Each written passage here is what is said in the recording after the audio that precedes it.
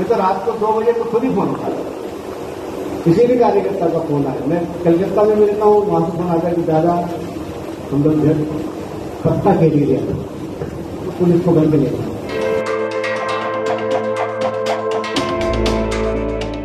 अक्सर अपने बयानों के चलते सुर्खियों में रहने वाले बीजेपी राष्ट्रीय महासचिव कैलाश विजयवर्गीय एक बार फिर सुर्खियों में है।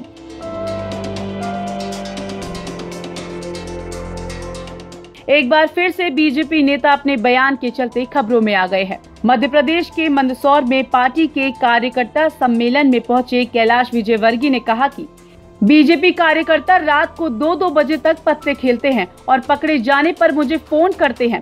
मुझे थाने से उन्हें छुड़ाना पड़ता है।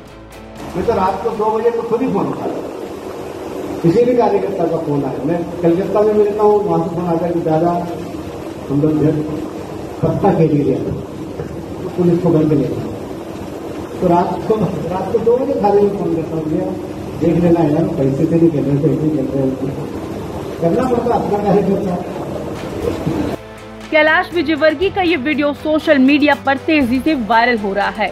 मैं तो रात को दो बजे को खुद ही फ़ोन उठा किसी भी कार्यकर्ता का फ़ोन आया मैं कलकत्ता में मिलता हूँ वहाँ से फ़ोन आता कि दादा हम लोग घर पत्ता के लिए तो पुलिस को घर के ले तो रात को रात को दो बजे खाली में फ़ोन करता हूँ, भैया। देख लेना यार, पैसे से नहीं खेल रहे पैसे खेल हैं। करना पड़ता अपना कार्यकर्ता। News desk.